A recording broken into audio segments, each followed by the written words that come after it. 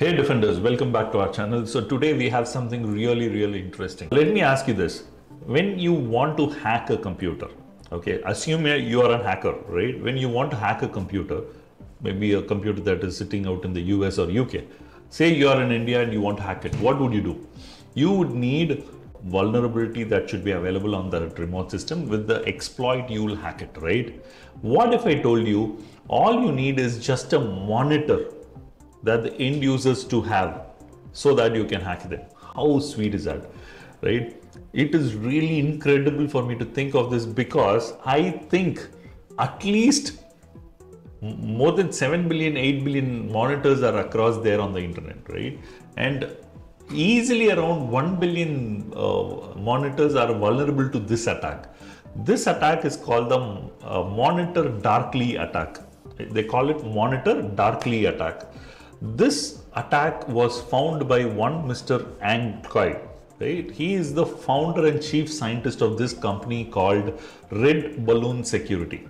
Right? And the interesting part here, right? I want you to understand this. Those age when we were actually starting to get acquainted with computers, we were using CRT monitors. CRT monitors are the cathode ray tube monitors, which were bulky monitors with the tubes inside, etc. We had to power it with a certain level of voltages. Eventually, what happened? You have uh, LED, OLED, uh, and other new, uh, you know, types of monitors that were coming in. Right? They were very slim, thin monitors, unlike the huge CRT monitors. Right?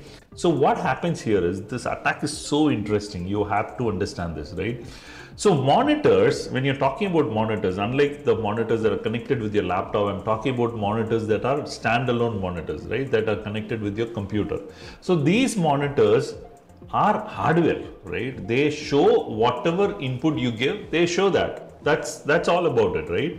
What if I told you this output medium called the monitor also has certain input mediums in that? Yes, this this may be new to you but yeah a monitor also has some input uh, mediums there and i would not call it an input medium it is a output medium but they have certain input mechanism in place for example think of this you are giving input to the monitor by increasing decreasing the brightness changing the color contrast you know all of that can be changed which is the input that you give to the monitor and monitor changes it right but let me tell you, every single monitor has something called a controller inside the monitor, right? This controller takes care of uh, you know multiple aspects including of voltage including of firmware including of the software that runs the uh, monitor or I, I, would preferably say it is a firmware that runs the monitor.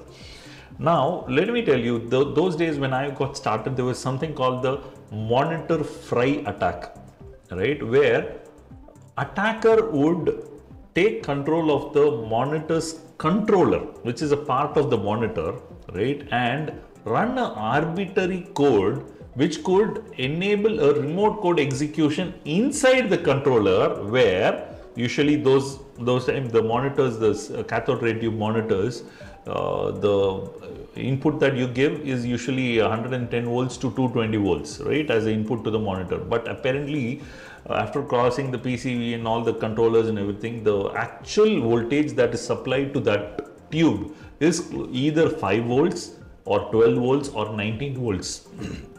Right? These are usually the input voltages that are supplied there. It steps down the voltage and sends it. But the interesting part here is